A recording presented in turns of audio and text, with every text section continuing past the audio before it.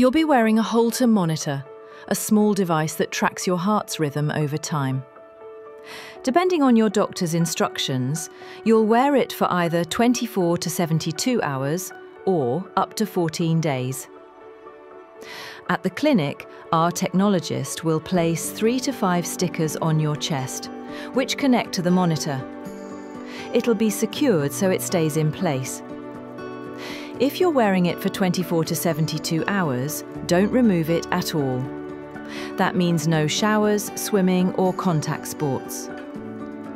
For longer durations, 7 or 14 days, you can take it off briefly to shower, but wear it the rest of the time and handle it with care.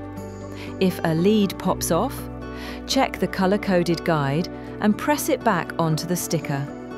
If a sticker comes loose, try resticking it or taping it down. Taking a photo of the setup can help with reattachment.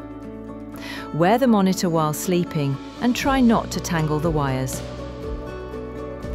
If you feel symptoms like dizziness, chest pain or palpitations, write down what you felt, when it happened and what you were doing.